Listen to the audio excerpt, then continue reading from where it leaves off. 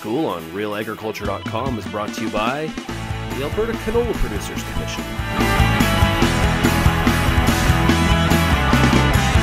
So these, um, these bud clusters appear to be very attractive to the cabbage seed pod weevil.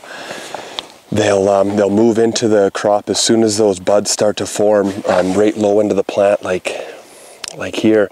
And uh, sometimes you'll find two or three cabbage seed pod weevils feeding on these buds here and, and that really concerns a lot of growers.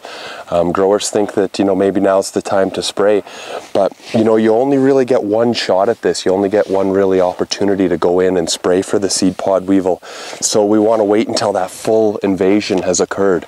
Um, a good time to do it is at that 10 or 20 percent flower. Um, the, the seed pod weevils will, will really migrate in once, uh, once more flowers start to come out. But this early feeding that we're seeing, we're going to see some chewing if we move over here and we see some blanks starting to happen. And this is likely from a seed pod weevil uh, feeding. And now you are going to have some blanks start off then on that main stem. Here's actually one starting to climb up here and he was probably feeding on that uh, causing that aborted pod. And and what's going to happen there is it's going to abort some pods but the plant is going to compensate for itself compensate for any feeding at this stage. So, you know, any feeding that we do see at this stage, it's, uh, it's not really warranted to spray. We want to wait until that full invasion has occurred and then control them.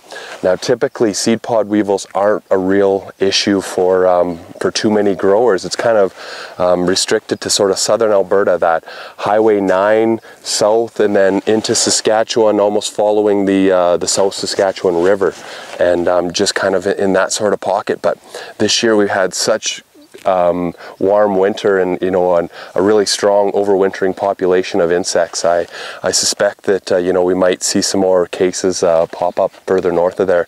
So my message here today is go out and monitor and, and check your bud clusters. But if you do find them in there, don't get too concerned yet. Wait until they get to that 20% flower. Now, if your crop is under stress, which this crop is definitely not, but if your crop is under stress, um, you know, you might see a little bit of a yield loss um, early with that early feeding before the flowering, but uh, we want to wait until that full invasion occurs if we can.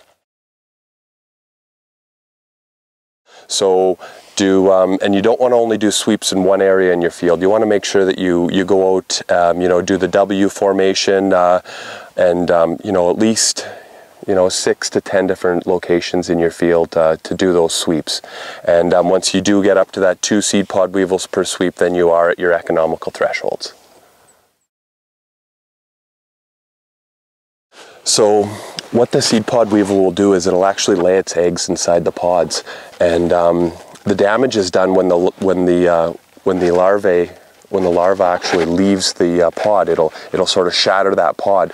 Um, so that's that's what we want to prevent. We want to prevent those those adults from laying the eggs inside the pod. So that's why we want to wait until um, you know until the full invasion has occurred at that 10 or 20 percent flower.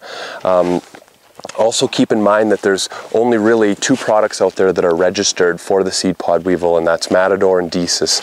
Um, so, so they have really good uh, control measures and um, you know we only get that one shot so you want to go in and, and make sure that you have the right timing for those.